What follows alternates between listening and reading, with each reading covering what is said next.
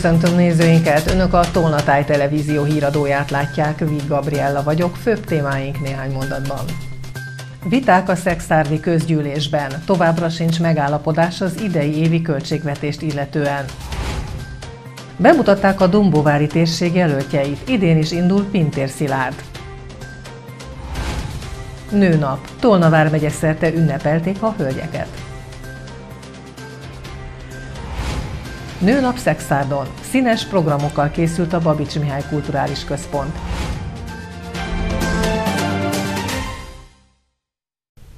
Ismét viták jellemezték a szexárdi közgyűlés legutóbbi rendkívüli ülését. A városnak továbbra sincs elfogadott költségvetése az idei évre. Ezúttal is a Tarka SC Szexárd kosárlabda csapatának szánt támogatások mértéke miatt alakult ki feszült hangulat a Szexárdi közgyűlésben. Az ilyen Szexárd frakció az azonnali 40 millió forint helyett 10 millió forinttal támogatná az egyesületet. Javaslatuk szerint a fennmaradó összeget kizárólag sportcélokra elkülönítenék, melynek felhasználásáról később döntene a közgyűlés. Tovább folytatódik a tarkályes üldözése. Gyakorlatilag az ilyen szexuált frakció bármit alávet annak, hogy valakit üldözzenek és elüldözzenek a városból, vagy nem is, tudom, nem is értem, miért csinálják, de gyakorlatilag nem fogadták el a költségvetést. Egyéb módosító volt, a szokásos, ami a múltkor is volt, de semmiképp nem hajlandók azt a költségvetést elfogadni, amiben a tarkályes támogatása benne van. Egyébként hozzáteszem, hogy Bomba Gábor már az előző közös előtt is sajátjának tudta a költségvetést, és ehhez képest mégsem fogadták el. Murvai Árpád az ilyen Szexárd frakció képviselője és az Oktatás, Sport és Ifjúsági Bizottság elnöke a közgyűlésen hangsúlyozta, senki nem üldöz senkit, pláne nem a KSC-t. Gyakorlatilag ez egy zsarolási pozíció, ezért nem fogadják el a város költségvetését. Semmi ne legyen, ha nem úgy van, hogy ők akarják, akkor az egész város elveszhet. Máté Péter a költségvetés helyzetével kapcsolatban úgy fogalmazott, a határidőket nem tudják tartani, az ügy folytatása bizonytalan. Kampányító rendezvényt tartottak Dombóváron, melynek keretében bemutatták a polgármester, illetve a képviselőjelölteket. A város polgármestere elmondta, az elkövetkező öt év meghatározó lesz a település számára. Azt gondolom, hogy mindenki átélte a pandémiát, átélte azt a gazdasági válságot, amelybe keveredtünk, de én bizakodva nézek a jövőbe, és remélem, hogy ez már többet velünk soha nem fog megtörténni, és hiszek benne, hogy ezért most már tenni is fogunk, hogy ez ne így legyen.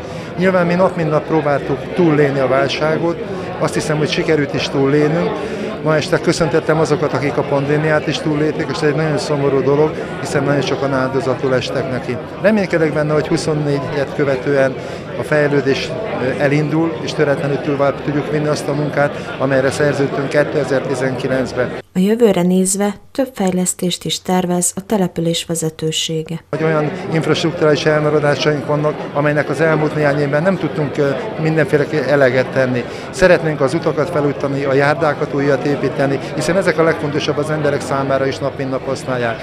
Nagyon remélem, hogy a kerékpárutat be, be tudjuk fejezni Dombovár és egy között, és természetesen vannak olyan terveink is, hogy tovább folytatva a jelenlegi szűk lehetőségeket túllépve köznevelési intézményeink fejlesztését is szeretnénk befejezni.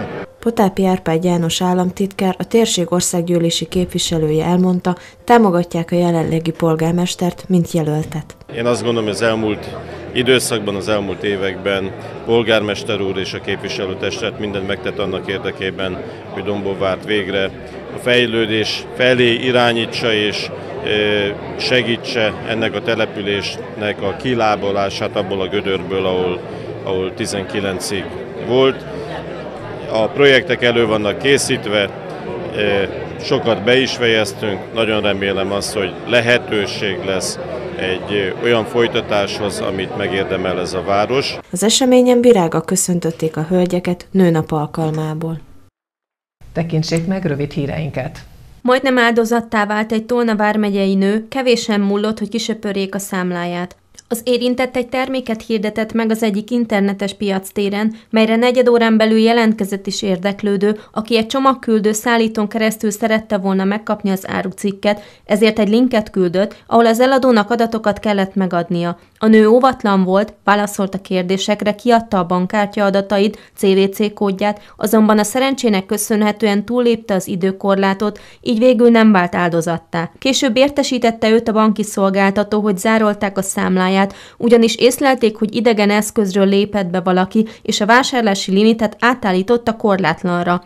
A Tolna vármegyei rendőrfőkapitányság továbbra is kéri, hogy sem telefonon, sem ismeretlentől kapott linken keresztül senki ne adja ki személyes adatait, bankkártyájuk számát, lejárati idejét és CVC kódját.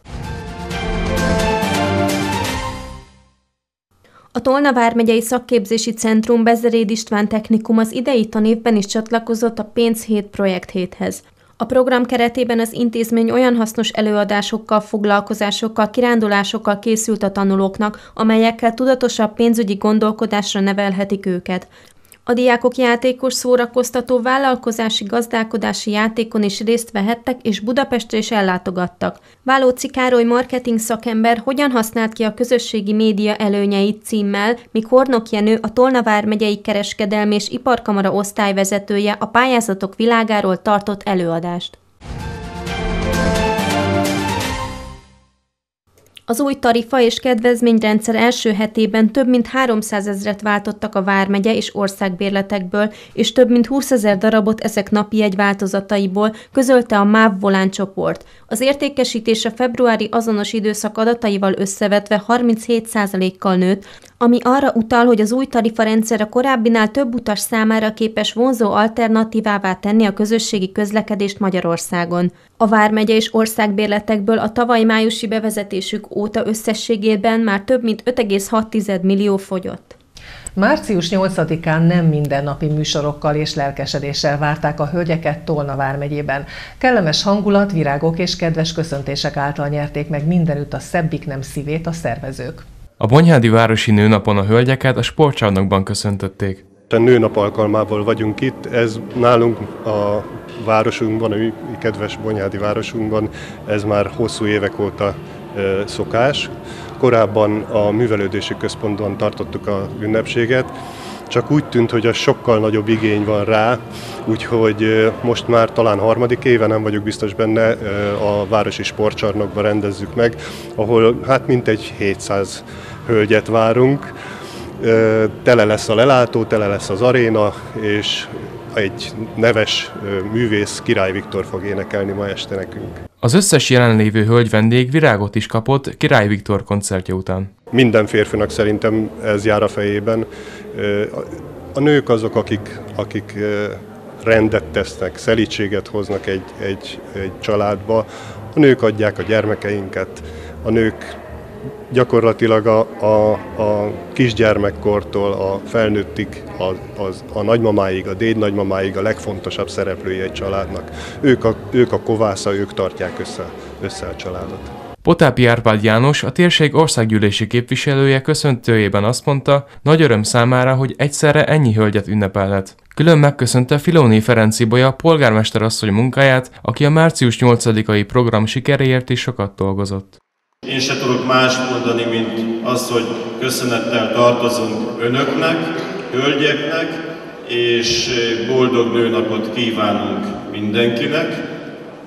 Reméljük azt, hogy egészségben, szeretetben fog telni a mai este és a következő esték is hosszú-hosszú éveken keresztül. A Faddi Művelődési Házban Bordács József polgármester és Horváth István országgyűlési képviselő színes, illatos, cserepes növényekkel várta az érkezőket. Horváth István arra szeretne biztatni mindenkit, hogy ne csak ezen a napon adjunk kiemelt figyelmet a hölgyeknek. Ilyenkor mindig egy kicsit nagyobb odafigyeléssel gondolunk és beszélünk a hölgytársainkról, de igazából azt gondolom, hogy a hölgyek azt várják, hogy ne csak ezen az egy napon az év 365 napján megkapják a tiszteletet és a, a megbecsülést.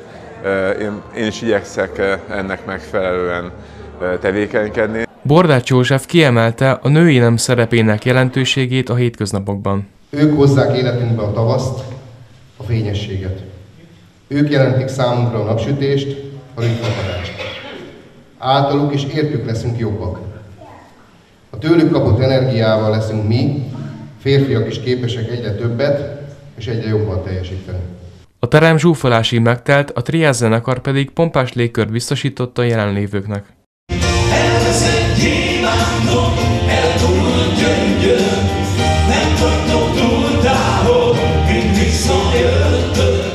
A hagyományokhoz hülyen Dombóváron is megünnepelték a hölgyeket. Azt gondolom, hogy mindig örömmel készülünk március 8-ára, és szerintem ma nagyon beletaláltunk, hiszen hazai pályán zenél a Konnektor zenekar, és Pápa Lacit imádja mindenki is a Konnektor zenekart is. Egy picit részt vettem az elején, azt gondolom már a második szám után fergeteges volt a hangulat. Színházterem dugik telt, nyilván ennek is örülök, kinőttük, és azt gondolom, hogy ezért érdemes ezeket a rendezvényeket szervezni. Nyilván a 14 érai kezdés is azért alakult így, hogy mindenki időbe ide jöjjön, időbe haza tudjon menni, és a hagyományoknak megfelelően képviselő társaimmal egy kis szerény ajándékkal is készítünk a műsor végére. A Tolna vármegyei településeken gondos készülődés és rendezés előzte meg a nők ünneplését. Mutatjuk rövid híreinket. Izményben a hagyományokhoz híven idén is tojásfával készülnek a húsvétra. A község önkormányzata kéri az óvodásokat, iskolásokat, szülőket és nagyszülőket, hogy egy-egy díszes tojással működjenek közre a fa díszítésében. Az izményieket játékra is invitálják, a településen kihelyezett tojásfával nyulakkal készült, április 1 feltöltött fotokból videó és fotomontás készül. Március 10-én rendezték meg a lány U14-es korosztály négy próba összetett atlétikai magyar bajnokságát Budapesten, a Bokcsarnokban. Az atlétikai klub Bonyhád versenyzői közül a négy próba ugró változatában német Bora összesítésben a 16. helyen zárt. Misl Réka, aki szeptemberben kezdte a munkát, jelenlegi edzőjével 200 méteren javított az idején. Futásban Kucsera Flóra állt rajthoz, aki egyéniben 23. helyen zárta a versenyt. Dobásban Miklós Marianna összesítésben a tizedik helyen végzett, a tömött labdavetést megnyerte, súlylökésben pedig a harmadik helyezést szerezte meg. Egy-egyes döntetlent ért el a Paksi FC labdarúgó csapata a Debrecen együttese ellen az OTP Bankliga 24. fordulójában. A Tolna vármegyeiek a pontvesztés következtében lecsúsztak a tabella éléről, a vezetést a Ferencváros vette át. Az atomvárosiaknál a sérüléséből visszatérő Tolnai Vas Gábor a második félidőben lépett pályára. A Paksiak gólját Böde Dániel passzából Pap Kristóf szerezte. A Babics Mihály Kulturális Központban a szervezők egésznapos programsorozattal készültek a hölgyeknek nőnap alkalmából. A rendezvény helyszíne megtelt hölgyekkel, akik előadásokon, egészségügyi vizsgálatokon vehettek részt. A megnyitó végén meglepetés ajándékkal kedveskedtek a megjelenteknek. Reggel 8 óra óta egészen késő estig a hölgyek kedvére próbálunk tenni olyan programokkal, műsorokkal, csajos cuccok vásárával, kozmetikai sminktanácsadásokkal, mozgáspercekkel, színházi mozi előadásokkal, családi filmekkel, és este egy kiváló nagy koncerttel Kökény Attila és Rakoncai Viktort várjuk, illetve a táncos lábúaknak pedig a Plac épületébe Bétót László fogja szolgáltatni a talpalávalót egy retro diszkó tekintetébe. Mosonyi Eszter tanácsadó elmondta, a bőrünk hidratálása és a fényvédelem nélkülözhetetlen eleme a napi rutinnak. Az arcápolás, ez a tudatos arcápolás, ez mostanában egyébként nagyon felkapott, és nagyon sokszor hívják rá a, fel a figyelmet, és ennek ugye a sminkelésnek ez szerves része.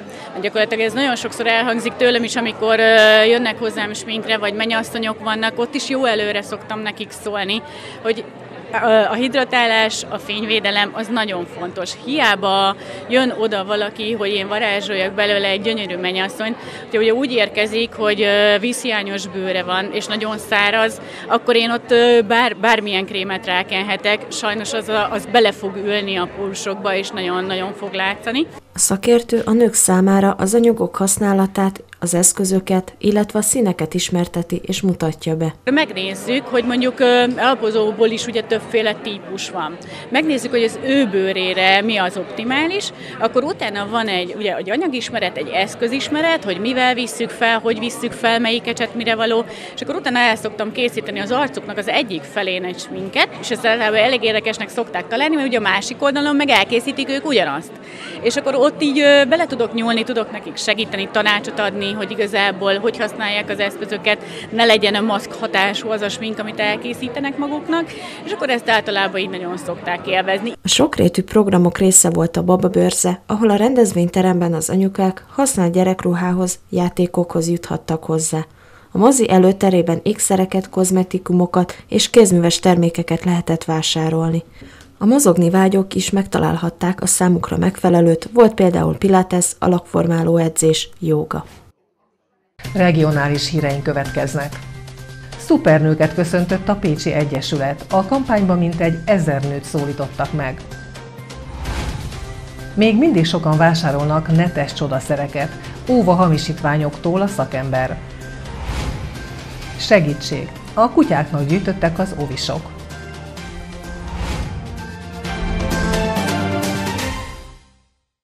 A szupernőket keresték abban a kampányban, amit a Pécsi Mami Közhasznú Egyesület indított. Az egyik közösségi oldalon lehet ajánlani rokonunkat, ismerősünket vagy éppen párunkat a játékban. A legszerencsésebb szupernő pedig egy hétvégi pihenés nyerhet majd. Az év női példaképe Baranyában ezzel az elnevezéssel tartott korábban kampányt a Pécsi Mami Egyesület, ahol a legtöbb szavazatot kapott nőket jutalmazták. A díjkiosztón készült ez a felvétel még 2020-ban. 2022-től egy másik kampányba kezdtek, szintén a nőnaphoz kapcsolódva, amit idén is megtartottak. Így született meg a Szerintem te szupernő vagy kampány. Gyakorlatilag ez egy játék formájában valósul meg, és ezzel azt szerettük volna sugalni, hogy nem kell egy nőnek mindent tökéletesen csinálni. A szuperőnek azt tartjuk, aki elég jól teljesít minden fronton, anyaként, nőként, a munkájában és a háztartásban is, és ügyesen tud egyensúlyozni a különböző szerepei között. Az új kampányban sokkal több nőhöz jutottak el, mondja Gellén Nóra. Több mint ezer itt élő nőt sikerült megszólítanunk, hiszen ez a játék úgy zajlott, hogy bárki, akinek van olyan barátnője, ismerőse, rokona, ha férfiról beszélünk, akkor párja, akit ebben az értelemben vett szupernőnek tart, akkor itt az egyik közösségi média felületen meg tudta jelölni, és ezzel már is bekerültek a játékban. Akit megjelöltek, ő kapott egy üzenetet az Egyesülettől. Ami így szólt, hogy szerintem te szupernő vagy, időnként pihenj, lazíts, megérdemled. És azt gondolom, hogy ez a legfontosabb üzenete ennek a játéknak, így nőnap apropóján, hiszen a játékunkhoz kapcsolódik egy cikk is, amiben kifejtettük, hogy létezik egy olyan, hogy szupernő szindróma. Erről talán kevesen hallottak.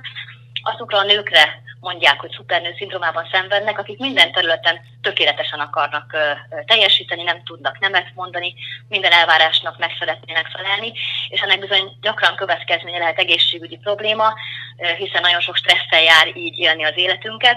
A játéknak van egy főnyereménye is, amit azok között sorsolnak ki, akiket jelölt az ismerősök, rokonuk a szupernő elismerésre. Megkerestünk több, több lehetséges partnert, illetve mondhatom azt, hogy az első partner, akit megkerestünk, igent mondott, mert egy három gyerekes édesanyáról van szó, aki egy vendégházat működtet Pécsváradon, és amikor meghallotta, hogy milyennek a kampánynak az üzenete, azt mondta, hogy egyből megszólítva érezte magát, hiszen ő maga is ugye vendégházat vezet, van három gyermeke, van férje, vezeti a háztartást, és azt mondta, hogy egyetért ennek a, ennek a kampánynak a mondani valójával, és első szóra azt mondta, hogy nagyon szívesen vendégül látnak egy családot egy hétvégére.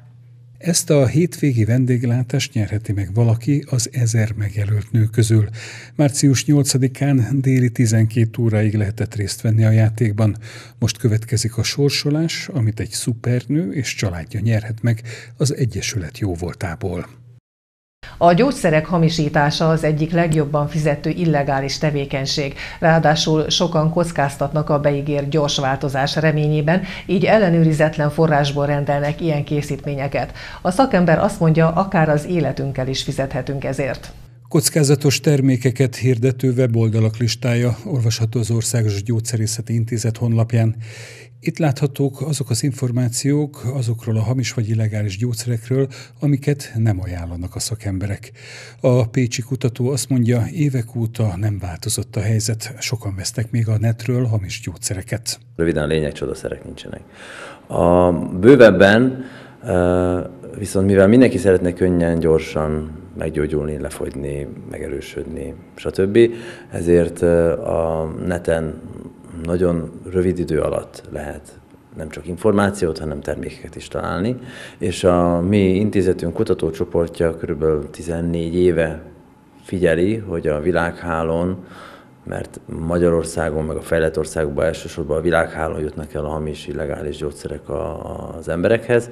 Tehát, hogy ezen a felületen milyen problémák, elakadások vannak. A legális gyógyszerek forgalmazói hátrányban vannak a hamisítókkal szemben a világhálón. Egy olyan 40 ezer legális engedélye működő honlap van a világhálón összesen globálisan, erre vagyunk 8 milliárdan, és az illegális szereplők száma az ennek körülbelül a 20-30-szorosa, ezek becslés.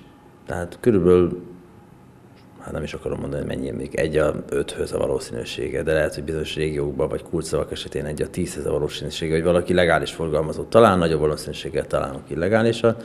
Itt nem csak potenciál növelőt, hanem fájdalomcsillapítókat, fogyasztószereket, injekciót, infúziót, tablettát, mindenféle gyógyszerformát lehet kapni, és ezek a termékek az esetek nagy részében egyértelműen hamisított termékek. Nem lehet tudni, miből, hol, milyen körülmények között készültek, ezért veszélyesek lehetnek.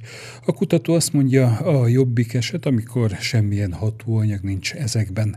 Előfordult viszont fejlődő országokban, hogy mérgező anyagot tartalmazó gyógyszerek jutottak be a legális forgalmazásba. Valamilyen, milyen gyerekeknek való szirup, amiben ilyen vegyszer anyagot raktak, ami nem legkevésbé se gyógyszerhatású. Ott azt hiszem maradandó károsodás és halálhoz is vezetett. Európában ennél sokkal ritkábban találkozunk ilyennel. Patikában nem, tehát gyógyszertárban nem lehet hamis gyógyszert kapni, arra képítettek négy-öt évvel ezelőtt egy olyan rendszert, ami ezt megakadályozza. Az illegális kereskedelem a becslések szerint 150-200 milliárd eurót jelent évente a hamisítóknak Európában. Így nem meglepő, hogy a gyógyszerhamisítás vezet az illegálisan előállított termékek listáján. 100 kg száraztápot konzerve gyűjtöttek össze a gyerekek és szüleik a Mate Kaposvári Kampusz gyakorló óvodájában. A felajánlásokat a Kutyatár Egyesület vezetőjének adták át az ovisok. 20 forintért tarka kutya, 10ért fehér kutyaját, törzsverőket 5 forintért kapható a kutyamát. Kutyatár, kutyatár, kutyafülű aradár. Versel is készültek az ovisok, akik már eddig is sokat tanultak az állatvédelemről és az állatmenhelyek szerepéről. Sok-sok szegény, beteg, meg árva kis cicát, meg kis kutyát, meg ilyen kis, kicsi állatokat gyűjtenek össze, és azért van itt ez a sok ennivaló, mert ezeket fogjuk odaadni nekik, hogy, hogy majd jól lakjanak és ne éhezzenek. A Matek Kaposvári Kampusz gyakorló óvodájában mintegy 100 kg száraztáp és konzerv gyűlt össze a Kutyatár Egyesületnek. Az akcióval a gyerekek edukációját is segítik, mondta az óvoda vezetője a hozzánk járó óvodások felé szeretnénk közvetíteni azt, hogy mennyire fontos az állatvédelem.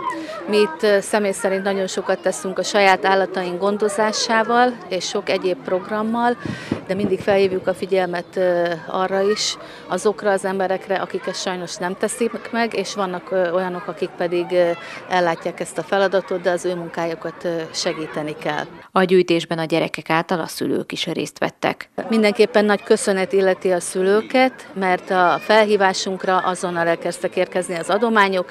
Két héten át gyűjtöttünk folyamatosan, és nagyon sokféle dolog jött. A Kutyatár Egyesület telepén jelenleg 50 macska és 170-180 kutya él.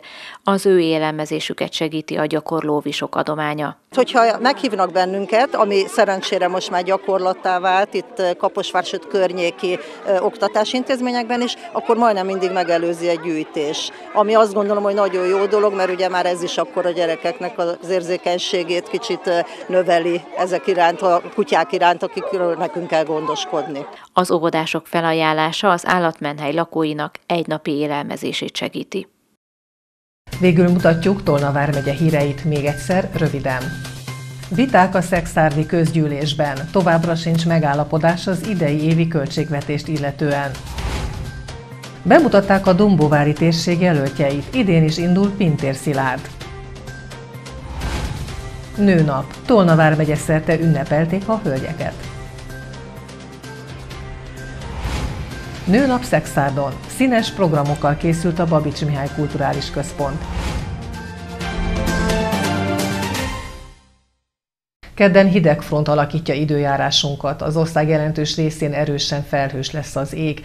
Elszórtan előre láthatólag a Dunántúl térségében hullik időszakos eső, zápor. Éjszaka megélénkül az északnyugati szél. Friss hírekkel legközelebb kedden este jelentkezünk. Már a köszönöm figyelmüket, viszontlátásra!